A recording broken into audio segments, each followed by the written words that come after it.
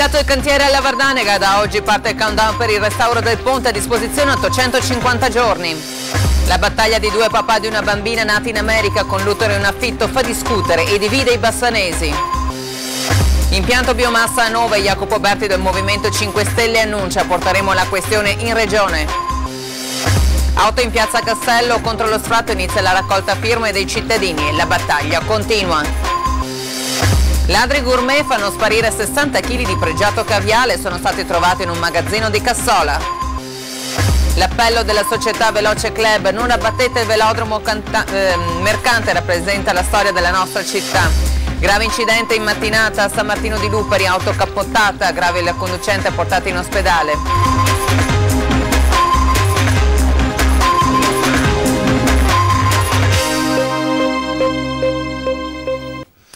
Buonasera telespettatori, oggi 2 marzo 2017 partono gli 850 giorni per il restauro del Ponte Vecchio. Sentite. Stop, fermiamo il contatore. 14 i mesi di ritardo accumulati sul restauro del Ponte Vecchio. Da giovedì 2 marzo 2017, segnatevi questa data, tutto si azzera. È stato firmato in mattinata il verbale di consegna dei lavori. Parte il countdown. La Vardanega ora ha 850 giorni per ultimare il restauro. La partita sarà chiusa soltanto quando il ponte sarà restaurato, ristrutturato e riconsegnato alla cittadinanza, al mondo nella, nella sua bellezza. Insomma, quindi diciamo che adesso inizia, inizia la, la parte più più difficile. E ora viene il difficile. Certo, il percorso fino a questo momento non è stato proprio dei più semplici. Anzi, possiamo dire che è stato un vero calvario.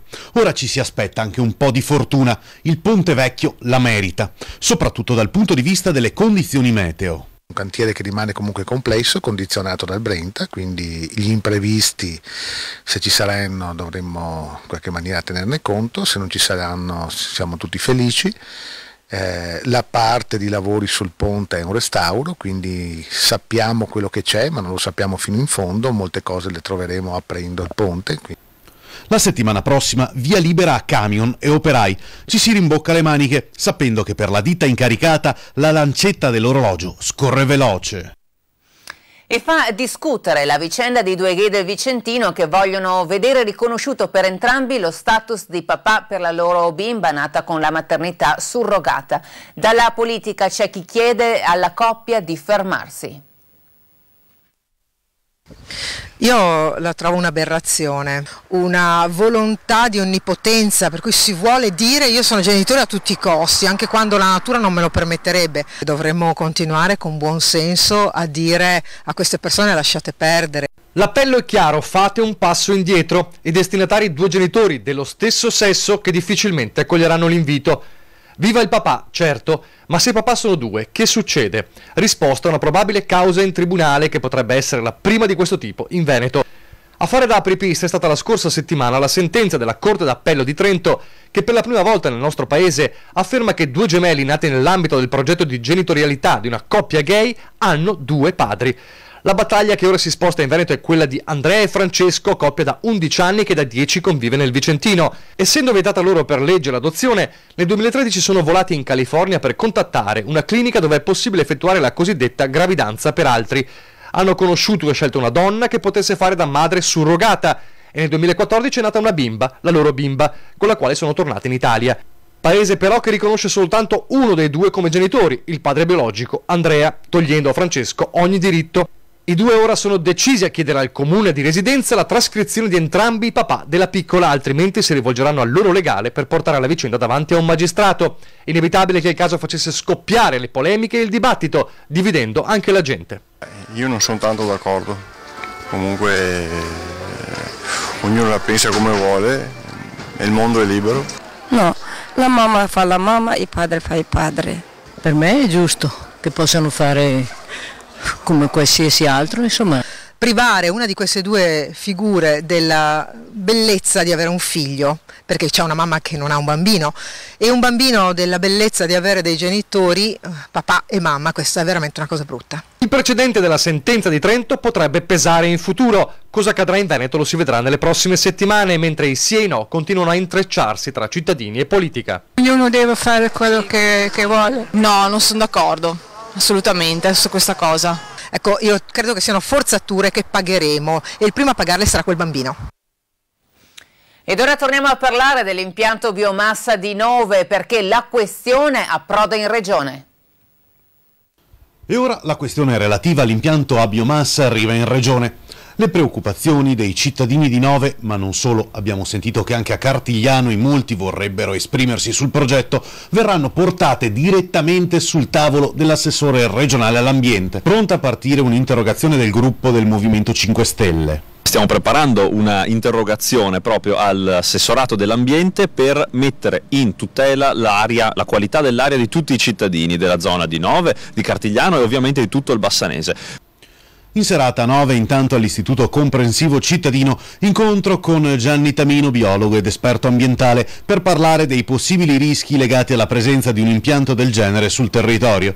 I pentastellati appoggiano l'idea di un referendum. Tutta firme che è partita in pochissimi giorni ha raccolto centinaia e centinaia di firme. Questo perché è un problema molto sentito. Quando si parla di salute quando si parla di ambiente noi siamo sempre in prima fila. Resta in ballo la possibilità di un ricorso al TAR. Naturalmente continueremo a seguire la vicenda. I cittadini, anche se ormai il percorso autorizzativo è agli sgoccioli, vogliono provarle tutte per fermare quello che considerano un possibile pericolo. E a Bassano continua la protesta di Piazza Castello. Ieri vi abbiamo raccontato la rabbia dei residenti che dopo il nostro servizio oggi hanno iniziato una raccolta firme contro la pedonalizzazione scusatemi, della piazza. Il castello sotto assedio. A Bassano il comune vuole fare piazza pulita delle auto, ma gli abitanti si ribellano, pagano 258 euro all'anno per un posto e non vogliono andarsene. Oltre al danno alla beffa, il dissuasore è rotto, i furbetti si intrufolano e la piazza si riempie di macchine abusive che invece posteggiano pure gratis. Anche oggi il dissuasore non funziona. È da mesi che non funziona. È da mesi che non funziona, però oggi abbiamo un'arma nuova. Abbiamo pronto una petizione da presentare al sindaco e cominceremo a farla firmare da oggi. Anzi, da subito. E allora proprio qui davanti al dissuasore della vergogna parte la petizione, la prima firma.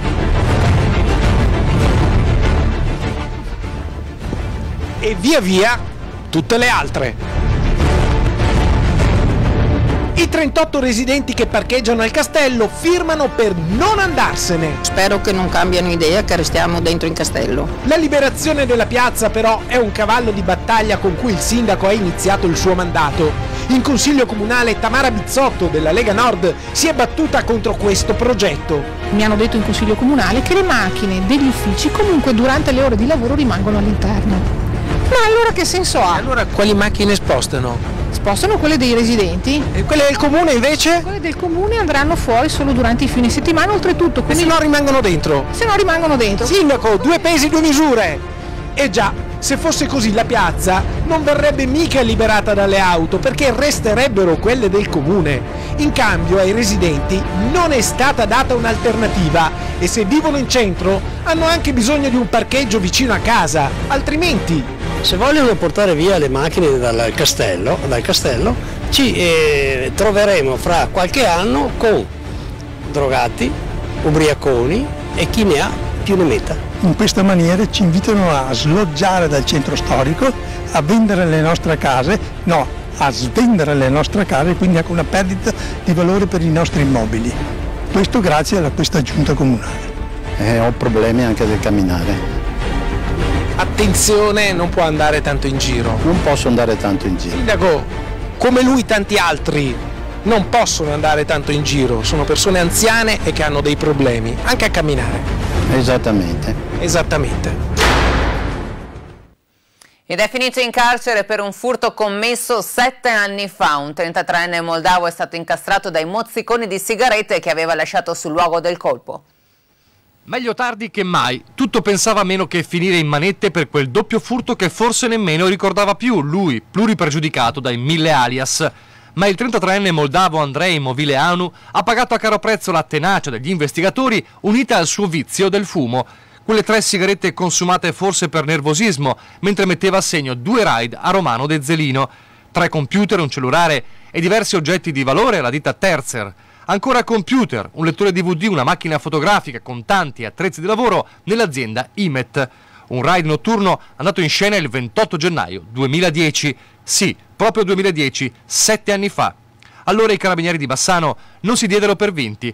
Subito capirono che il modus operandi, forzatura violenta delle finestre e tipo di bottino appartenevano allo stesso malvivente e si tacciarono tutta la zona trovando i tre mozziconi. Reperti a Risti Parma per le analisi biologiche e responso. Il ladro fumatore era Andrei, schedato pluripregiudicato, carico del quale fu emessa un'ordinanza di custodia cautelare nel 2011. Peccato che il giovane si fosse volatilizzato trasformandosi in un fantasma. Un altro ladro a piede libero? Così devono aver pensato le vittime del raid per sette lunghi anni, almeno fino a che il 33enne è riapparso stamane all'aeroporto di Treviso, deciso a prendere un volo per il suo paese. Non sapeva che i dati e l'ordinanza pendente erano stati diramati da anni a tutte le forze di polizia del territorio nazionale. L'uomo è stato così riconosciuto dalla polizia aeroportuale che ha contattato i carabinieri di Bassano. Cerchio chiuso e manette ai polsi del ladro, nemmeno il tempo di un'ultima sigaretta. Parliamo di un sequestro record. Gli investigatori del commissariato di Bassano hanno trovato 60 barattoli di caviale rubato. 60 kg di caviale si trovano solo alla tavola di uno sceicco e invece eccoli qua. Sono gli investigatori del commissariato di Bassano ad aprire le scatole appena sequestrate. Un vero record per un valore sul mercato di almeno 60.000 euro. Le preziose uova di storione erano state rubate alla Caviar Import di Gardigiano di Scorzene, il veneziano. Un furto invisibile messo in atto silenziosamente a più riprese pochi mesi fa tra il 15 e il 20 dicembre dell'anno scorso. Il titolare dell'azienda, un iraniano di 55 anni, aveva fatto denuncia. Le indagini sono partite immediatamente, fino al 25 febbraio, quando la polizia con un blitz, assieme all'ULS, ha trovato il caviale nel capannone di un'azienda di trasporti di Cassola, che muove tonnellate di merce e che è del tutto estranea alla vicenda. Gli accertamenti eseguiti per adesso, che sono anche a buon punto, dovremo concludere nei prossimi giorni l'attività di indagine, eh, sembrerebbe appunto evidenziare il non coinvolgimento diretto da parte della direzione dell'azienda. Ovviamente la prima cosa che hanno fatto gli investigatori è stato risalire ai mittenti della spedizione, ma anche ai destinatari. Crediamo appunto che ci siano più mittenti e più destinatari. I destinatari che attendevano l'arrivo del caviale sarebbero alcuni ristoranti di tutta Italia. Adesso la polizia sta cercando altri 20 kg di uova di storione che non sono ancora stati ritrovati. La prossima fase di indagini appunto che eh, volgerà alla conclusione è di eh, evidenziare innanzitutto chi eh, ha ricettato questo eh, quantitativo ingente di, eh, di caviale e eventualmente anche chi ha rubato il caviale.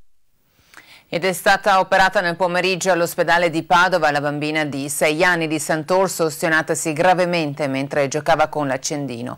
I medici però non sciolgono la prognosi.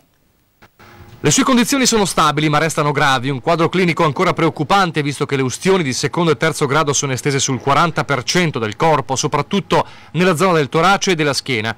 Nel pomeriggio un primo intervento chirurgico nel reparto Grandi Ostionate di Padova per la bimba di 6 anni, vittima a Sant'Orso di un gioco trasformatosi in dramma. Tra le mani un accendino lasciato in giro per la casa e finito nelle sue mani, con la voglia irresistibile di farlo funzionare, fino a che una scintilla non ha intaccato il vestitino della piccola, trasformandolo in una torcia accesa.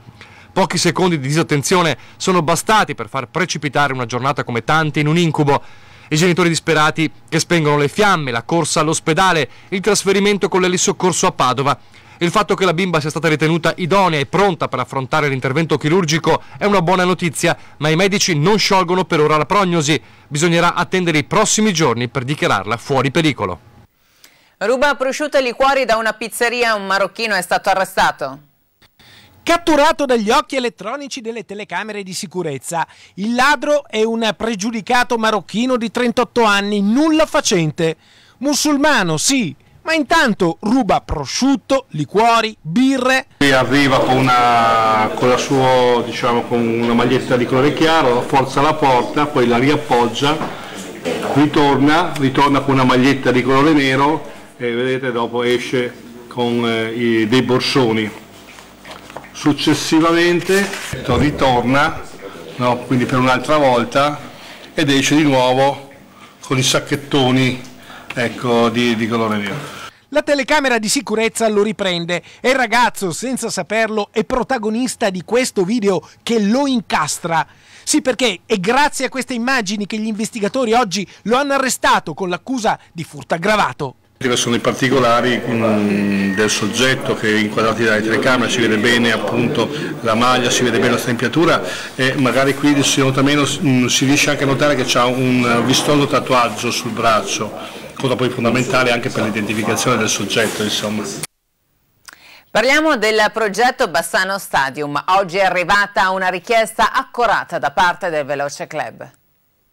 Una richiesta protocollata dal comune in data 1 marzo. È un appello accorato per salvare il velodromo. È stata spedita a sindaco, giunta e consiglio dalla società Veloce Club Bassano. Si legge: auspichiamo che l'amministrazione non voglia penalizzare l'attività di una società dilettantistica che riesce a garantire la pratica sportiva a 150 giovani appassionati di ciclismo dai 6 ai 18 anni. Il presidente del club, Michele Cavalera, lancia un accorato appello. Bassano, senza un velodromo, sarebbe una città più povera. La demolizione del mercante sarebbe un duro colpo non solo per il Veloce Club, ma per tutto lo sport italiano. Ai rappresentanti dell'amministrazione quindi si chiede la preservazione di un capitolo importante della storia della città e l'attivazione di un tavolo di confronto tra le parti. Il progetto Bassano Stadium quindi, ancora prima di partire, tra favorevoli e contrari, continua a far discutere. E oggi la prima delle tre giornate dello sport istituite dalla Regione. A Bassano, fra i tanti eventi, un vero e proprio raduno di migliaia di studenti al Pala 2. Qual è lo sport, vostro sport preferito? Pallavolo. Karate. Pallamano. Pallavolo.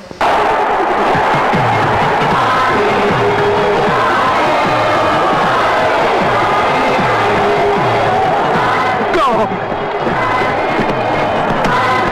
Dobbiamo avere certo. Eh, c'è bisogno di tutto questo entusiasmo, tutto queste... calma! La prima notizia è che no, per i ragazzi non è sempre il calcio lo sport di riferimento, la disciplina della propria passione, anzi. Nessuno vuole fare il calciatore. No, odio il calcio, odio fondamentalmente il calcio. Mosche bianche, chissà, ci sono anche questi volti e queste voci fra i 2300 ragazzi delle scuole superiori protagonisti di un vero e proprio raduno, dall'Itis Fermi alle classi quinte di tutti gli studenti del Bassanese per uno degli eventi della prima delle tre giornate dello sport ideate dall'assessorato regionale all'istruzione. Attività in tutti gli spazi, dall'asilo alle elementari alle superiori e momenti come quello andato in scena alla Pala 2 di Bassano perché parlare di sport fa bene. E si mette sempre lo sport in secondo piano eh, anche nell'ambito scolastico, quindi dargli un peso maggiore a volte serve. Scoprire, discutere anche di temi scottanti come il doping. Al Pala 2 a parlare con i ragazzi c'è Alessandro Donati, l'ex tecnico dell'Atletica Azzurra, che ha scoperchiato il calderone delle pratiche illegali e innescato una bomba che sta travolgendo mezza Europa sportiva, oltre ad aver seguito in prima persona il controverso caso della squalifica di Alex Schwarzer se ne sente parlare sì, però se ne sente parlare ancora troppo poco e è giusto che gli studenti, quindi fin da giovani, si inizi a sapere cosa comporta l'uso di queste sostanze. Meglio guardare allo sport sano e perché no immaginare una carriera ad alto livello, anche se con delle priorità. È meglio prima avere delle cose solide su cui progettare un futuro, quindi magari pensare a una cosa come gli studi. Sognare però non è vietato e allora i ragazzi sognano e non smettono di impegnarsi e divertirsi, con una parola d'ordine per alcuni. Viva la varietà delle discipline e basta con il monopolio di quel pallone che finisce o non finisce in rete. Abbasso il calcio, secondo me sì.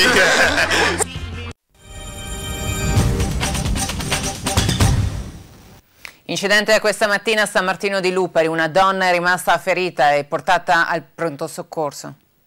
San Martino di Lupari, schianto tra due auto, ferita una donna. È successo poco prima delle nove in via Tombolata, vicino al passaggio a livello.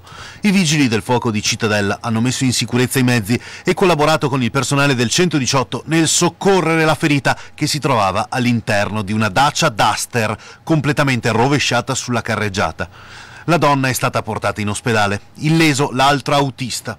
La polizia locale ha effettuato i rilievi per la ricostruzione della dinamica del sinistro. Probabile che all'origine dello schianto ci sia una manovra avventata. Le operazioni di soccorso sono durate circa un'ora.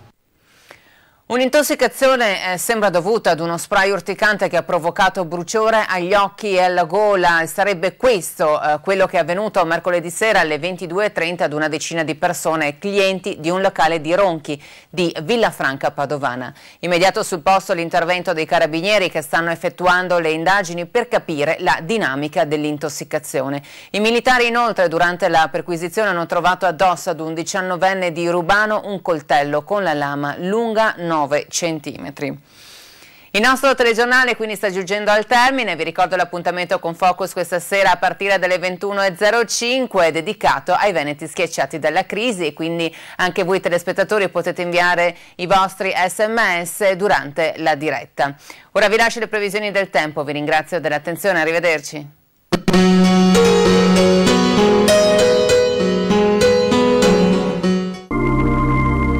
Previsioni per domani, da nuvoloso a molto nuvoloso, con possibili schiarite nelle prime ore del mattino. A fine giornata cielo molto nuvoloso coperto ovunque. Precipitazioni in pianura generalmente assenti, sulle zone montane probabilità in aumento fino a medio-bassa nel pomeriggio di qualche debolissima precipitazione. Temperature minime stazionarie o in aumento, massime in diminuzione.